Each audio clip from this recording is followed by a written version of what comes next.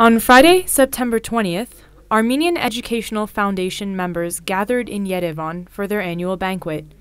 The AEF was founded in 1950 with the global mission of helping Armenian schools and Armenian students.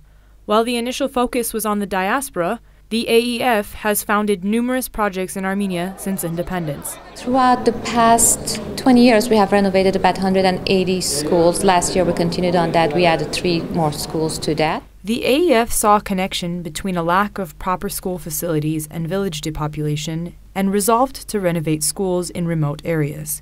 A recent initiative has taken a shift towards technological advancement. Um, I'm involved in what's called the computer program, which we supply computers to the various schools. The program includes a six week training session for teachers, who are then sent back to their villages with two computers and the skills necessary to teach general computer literacy.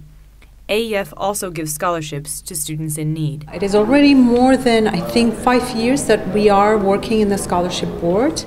Scholarship recipients come from every corner of Armenia and study disciplines ranging from engineering to German.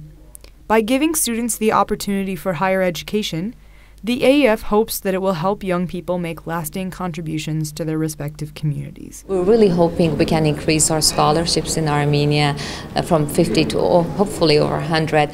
For more information about the AEF, you can visit aefweb.org. Emily Kaldjian, Daron Titizian, Civilnet.